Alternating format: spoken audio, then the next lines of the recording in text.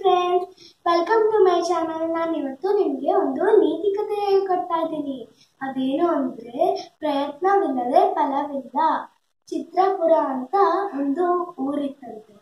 ಆ ಊರಲ್ಲಿ ಒಬ್ಬರು ಸ್ವಾಮೀಜಿ ಇದ್ರಂತೆ. ಆ ಸ್ವಾಮೀಜಿ ತುಂಬಾ ಚೆನ್ನಾಗಿ ಜನರ ಭವಿಷ್ಯ ಎಲ್ಲ ಹೇಳ್ತಿದ್ರಂತೆ. ಹಾಗಾಗಿ ಅಕ್ಕಪಕ್ಕದ ಊರಿನ ಜನರೆಲ್ಲ ಬಂದು ಅವ್ರ ಭವಿಷ್ಯ ಕೇಳ್ಕೊಂಡು ಹೋಗೋರಂತೆ. ಆದ್ರೆ ಒಂದಿನ ಏನಾಯ್ತಂತೆ ಸುರೇಶ ಮಹೇಶ ಅನ್ನೋ ಒಂದು ಸ್ಟೂಡೆಂಟ್ ಫ್ರೆಂಡ್ಸ್ ಬಂದಿರುತ್ತೆ. ಅವ್ರು ಕೇಳಿದ್ರಂತೆ, ಸ್ವಾಮೀಜಿ ನಮ್ಮ ಭವಿಷ್ಯ ಏನಾಗುತ್ತೆ ಅಂತ. ಸ್ವಾಮೀಜಿ ಹೇಳಿದ್ರಂತೆ, ಮಹೇಶ, ನಿನ್ ಪಾಸ್ ಆಗ್ತೆ ಕಣೋ ಅಂತ ಹೇಳಿದ್ರಂತೆ. ಆದ್ರೆ ಸುರೇಶನ್ಗೆ ಏನ್ ಗೊತ್ತಾ?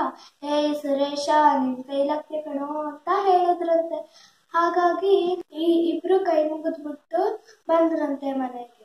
ಆಮೇಲೆ ಮಹೇಶ ಏನ್ ಮಾಡ್ತಾರೆ ಅಂದ್ರೆ ಬುಕ್ ಎಲ್ಲ ಕ್ಲೋಸ್ ಮಾಡಿ ಇಟ್ಬಿಟ್ಟು ಓದೋದನ್ನು ಮಾಡ್ಬಿಟ್ಟು ಟಿವಿ ನೋಡೋದು, ಮೊಬೈಲ್ ನೋಡೋದು ಜಾತ್ರೆಗೆ ಹೋಗೋದು ಅಕ್ಕಪಕ್ಕದ ಹಳ್ಳಿಗೆಲ್ಲ ಹೋಗ್ಬಿಡೋದು, ಹಬ್ಬ ಅಂತ ಎಲ್ಲ ಮಾಡ್ತಿದ್ದಂತೆ ಆದ್ರೆ ಸುರೇಶ ಏನ್ ಮಾಡ್ತಿದ್ದ ಗೊತ್ತಾ?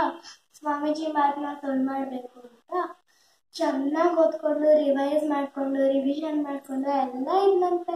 ಆಮೇಲೆ ಇನ್ನೊಂದು ಎರಡು ತಿಂಗಳಾದ್ಮೇಲೆ ಎಕ್ಸಾಮು ಬಂದ್ಬಿಡ್ತಂತೆ ಎಕ್ಸಾಮ್ ಇಬ್ರು ಬರ್ದಿದ್ದಾದ್ಮೇಲೆ ಒಂದ್ ಎರಡು ದಿನ ಆದ್ಮೇಲೆ ರಿಸಲ್ಟ್ಸು ರಿಸಲ್ಟ್ಸ್ನ ಇಬ್ರು ಹೋಗಿ ನೋಡಿದಾಗ ಮಹೇಶಾನೇ ಫೇಲ್ ಆಗ್ಬಿಟ್ಟಿದ್ನಂತೆ ಸುರೇಶಾನೇ ಪಾಸ್ ಆಗ್ಬಿಟ್ಟಿದ್ದಂತೆ.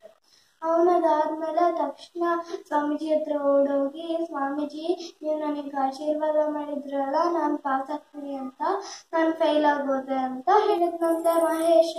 ಆಮೇಲೆ ಸ್ವಾಮೀಜಿ ಹೇಳಿದ್ರಂತೆ, ಅಯ್ಯೋ ದಡ್ಡ, ನೀನು ಯಾಕೆ ಓದೋದನ್ನ ಬಿಟ್ಟೆ? ಅಂತ ಕೇಳಿದ್ರಂತೆ.